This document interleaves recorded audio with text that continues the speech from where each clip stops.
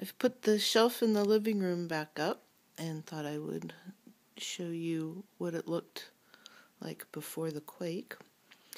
And I put the rocks back out, which I'm a little nervous about, but um, I don't know, we'll see. I haven't felt any aftershocks recently. This big black piece of obsidian here is from my dad, and I think you can see those white marks are big scratches now that are in the surface. I hope I can find somebody who can polish that out. I'm not even really sure.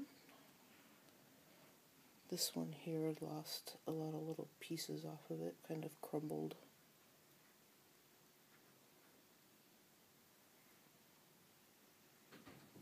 This one here, a little piece in the front broke off of it.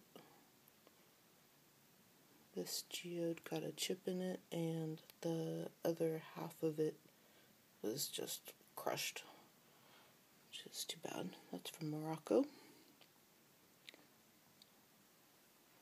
All of these are okay.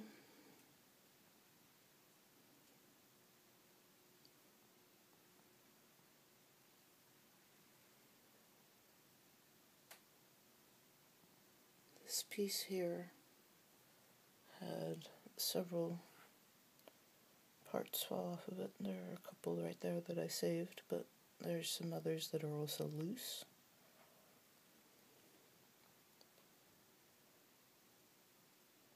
And none of the crystal pieces broke. Most importantly, this one from my dad. Nothing wrong with it.